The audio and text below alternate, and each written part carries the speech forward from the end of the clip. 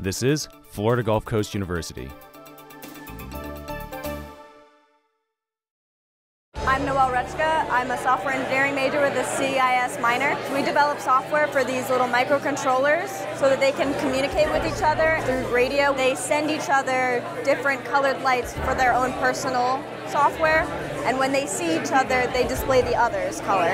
We took Moringa oleifera leaf extracts, and we wanted to see the inhibitory qualities on bacterial amylase. The bacterial amylase was inhibited by the moringa extracts, but the human amylase was not, which was a really positive result. We want to prevent the bacterial amylase from breaking down sugars that bacteria can ferment and make lactic acid, which causes dental cavities. I tested the microflora on the skin of frogs and toads to see if they inhibited the growth of bacteria that's indicative into the environment in which they live in. The frogs didn't inhibit any of the growth of any of the four, the 2 gram positive and 2 gram negative bacteria, where the toads inhibited the growth of all four. The toads seem to have stronger microflora that would fight against the bacteria than the frogs. My research is in graph theory. I was trying to find new upper bounds for the distance domination number of grid graphs. There were these three computer scientists that came up with a lower upper bound a few, uh, about a year ago, um, and we were able to reduce that amount using a lot of